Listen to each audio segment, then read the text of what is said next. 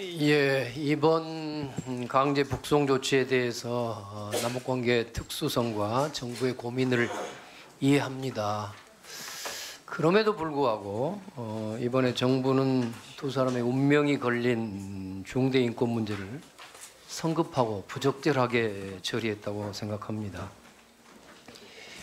예, 탈북자 문제를 다룰 때 예, 우리로서는 민주주의 핵심인 인권과 법치주의의 가치와 원칙을 기본으로 삼아야 할 것입니다.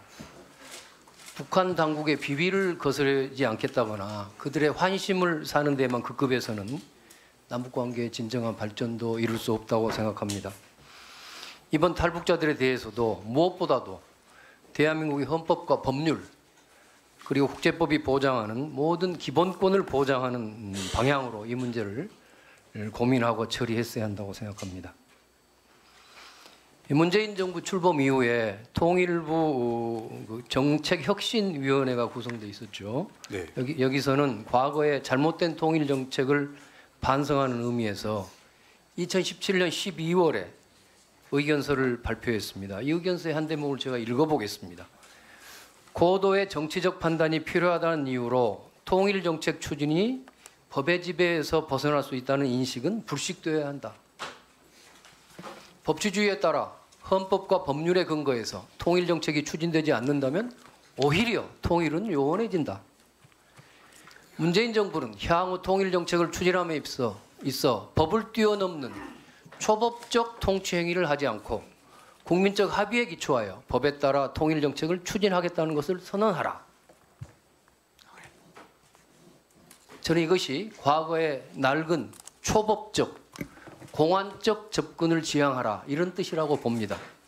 참으로 타당한 견해입니다.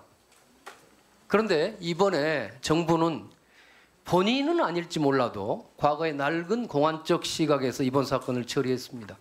매우 잘못한 겁니다. 지금 오늘 다른 의원들 질문 과정에 드러났는데요. 이번에 그 탈북 주민 북송 처분을 누가 그 했습니까? 행정 행정관 통일부 장관이 했습니까? 빨리 말씀하세요. 컨트롤 타워는 아, 네? 안보실에서 컨트롤 타워는 안보실. 아니 아니 굉장히 중요한 문제입니다. 청와대 안보실장은 대통령의 참모일 뿐이지 어떤 대외적인 행정처분을 할 수 있는 권한이 없는 분입니다. 그러니까 저는 정부 내에서 컨트롤 타워가 있어서 합의 협의한 걸 내가 잘못했다는 게 아닙니다. 뭐 청와대 결정, 청와대 주도권을 인정해 줘야 되겠죠. 그렇지만 그럼 통일부 장관이 결정하신 겁니까? 뭐 누가 한 겁니까? 법무부 장관이 했습니까? 대통령 직접 처분입니까? 이 말씀을 지금 못 하고 계세요. 그럼 이건 처분이 없었다는 이야기입니다. 이건 초법적인 겁니다. 의원님 그게 아니고 아니 아니 정확히 말 시간이 없어. 한번 누- 누구 아니 누구 명의로 처분됐냐? 좀 자, 시간 없으니까 넘어갑시다. 저 오늘 저 끝날 때까지요. 도대체 누구 누구 명의로 행정처분이 있었는지 한번 이야기해 보시기 바랍니다. 제가 보기에는 행정처분이 없었던 것 같습니다. 그냥 사실행위. 이제 어떤 법에 기초하지 않은 사실행위 같습니다. 그리고 어느 법규에 근거를 두고 있는지도 지금 오늘 많은 의원들이 이, 질문했는데 답변 못 하시고 계십니다. 뭐 이런저런 취지를 말씀, 아 저도 그건 틀리, 틀렸다고 생각지 않습니다. 대한민국 법치국가입니다. 아까 초법적인 이런 이런 짓 안 하겠다 하는 것이 지금 문재인 정부의 반성 아닙니까? 그런데 이 부분 심각한 문제입니다. 결국 저는 이 이번 결정은 통치행위에 따른 거였다고 봅니다. 통치행위입니다. 법적 근거가 분명치 않은. 자, 다음에 이번에 강제 북송된 북한 주민들은 일단 우리 지역에 들어와서 우리 정부 당국자들의 통제하에 있었습니다. 저는 그렇다면 이들은 이미 우리의 배타적 관할권 하에 들어와 있었고 따라서 대한민국 국적을 실효적으로 취득한 대한민국 국민이 되었음이 분명하다고 봅니다. 그렇지 않습니까? 그렇지 않습니다. 왜 그렇죠? 대한민국 국민이 되기 위해서는 기순 의사의 진정성이 예, 확정돼야 돼. 그 점도요 통일부 장관의 개인적인 견해에 불과합니다. 어디가 그런 게 있습니까? 이미 데려와서 여기서 다 뭐 설령 그렇다 치더라도 그렇다 치도 그걸 어떻게 믿습니까?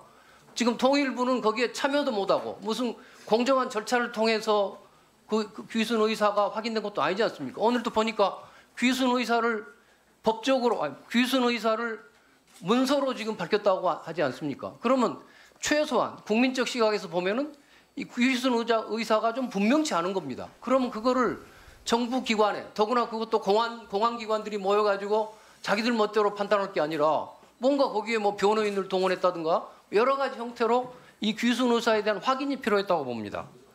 어떻게 생각하십니까?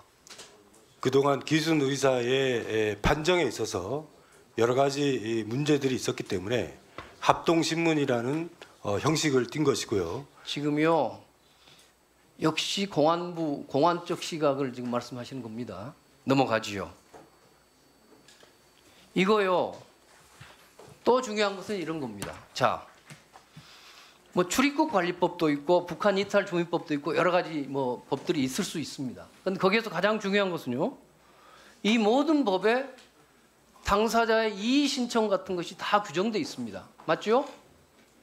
출입국 관리법에 따라서 외국인이라 하더라도 입국 금지 사유가 발견돼서 강제 퇴거되는 경우에 7일 이내에 이의 신청을 할 수 있게 돼 있죠? 맞습니까? 네. 예, 그렇습니다. 북한 이탈 주민법에도 만약에 거기는 이제 보호를 받지 못하는 사람이라고 하더라도 보호 처분 자체에 대해서도 여기 보면 상당히 긴 며칠이던가요? 90일, 60일인가? 90일입니까? 90일 이내에 이의제기 할수 있도록 돼 있죠 법에? 법 자체에 그렇게 돼 있습니다. 그래서요 이런 등등을 봐도 적어도 그 장 본인 장 본인은 아까 그 눈, 눈까지 지금 저 가려, 가려진 상태로 그냥 강제로 송환됐다는데 그 사람의 인권, 그 사람 입장에서 방어권이 보장돼야 되는 거 아닌가요? 어떻게 보십니까? 대한민국은 그, 그런 것부터 보장 안 되는 나라입니까? 북한에서 온 사람이니까 그냥 그렇게 가면 그냥 그렇게 보내면 그만입니까? 거기 가서 뭐 죽든 살든 그하고 우리하고 아무 관계도 없는 겁니까? 더구나 우리 관할구역에 들어왔으면 저는 저는 대한민국 국민이라고 봅니다. 저는 냉정적으로 뭐 모든 북한에 있는 주민까지도 우리 국민이라고 봐서 뭐 할 수는 없겠지만 우리 관할구역에 들어와서 귀신 의사를 여러분이 보시기에는 공안기관이 보시기에는 분명치 않았을지 몰라도 귀순 의사에 관해서 굉장히 신빙성 있는 그 사람들이 언동이 있었는데 그 문제에 대한 아무런 확인이 없이 그냥 보낸 거 극히 잘못된 일이라고 생각합니다. 국제적으로 인권단체들이 마땅히 비난할 수 있다고 생각합니다. 어떻게 생각하십니까? 네, 기순 의사와 관련돼서 그동안에 에, 과거에 논란이 적지 않았고 그렇기 때문에 합동 신문을 하는 목적 자체가 기순 의사를 판정하는 데 있어서 객관성을 기하기 위해서 어, 한 것이고 그동안의 에, 판정 과정에서 기순 의사를 판정할 때 의도나 목적이나 행적이나 준비 과정이나 이런 것을 종합적으로 어, 판정 판단해서 어, 결정하는 것으로 알고 있습니다. 자, 제가 시간이 지났으니까 조금 다시 하겠고요. 왜 사실은 이 그 남북 문제면 쩔쩔맵니까?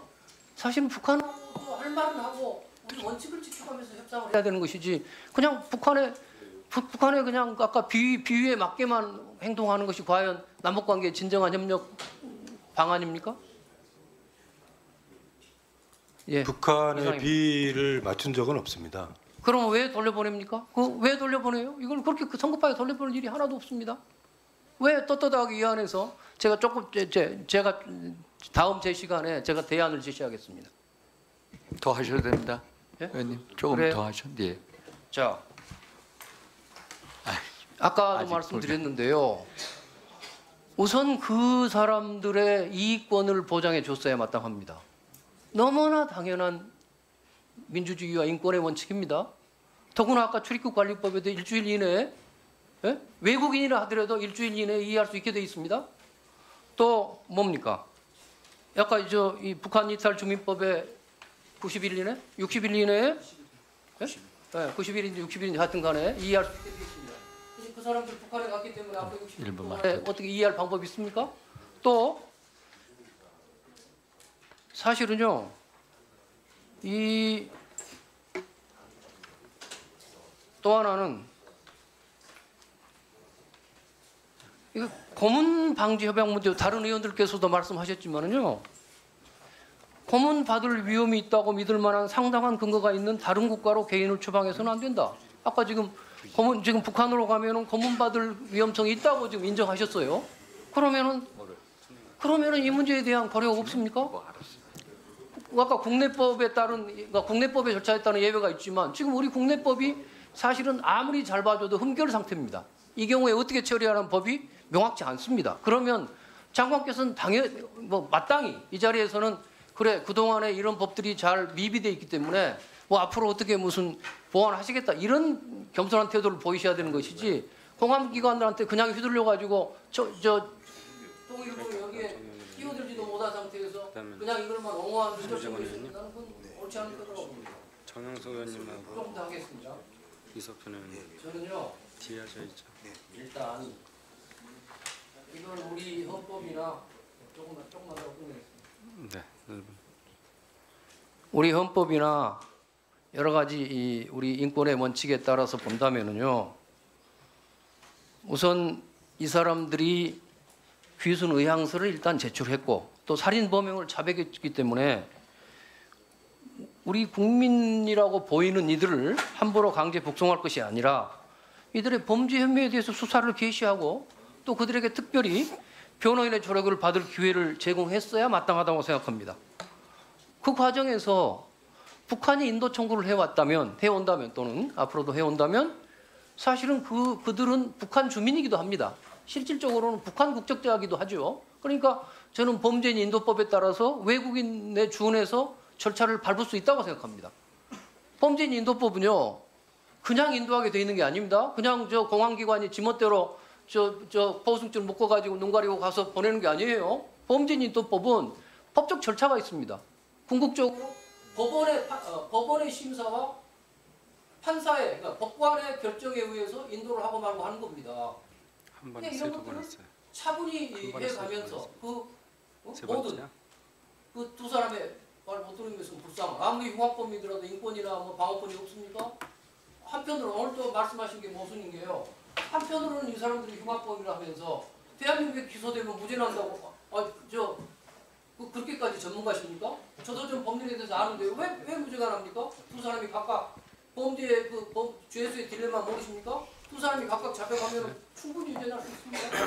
여러 가지 길이 있어요. 그래서 네, 정리 그 부탁드리겠습니다. 차분히 대한민국이 수사를 개시하고 변호인들도 붙여, 붙여줘서 방어권도 보장해주고 여러 가지 하면서 북한하고도 여러 가지 뭐 협력할 수 있는 길이 있으면 협력도 요구하고 그리고 북한이 인도 인도 청구를 해왔을 때는 그것은 범죄인 인도법의 그 취지에 따른 결정을 차분히 해간 게 저는 옳았다고 생각합니다. 이것이 남북 관계 발전에도 도움이 되고 우리의 인권과 법치주의 원칙에도 충분히 맞는 제, 저, 조치였다고 생각합니다. 어떻게 생각하십니까?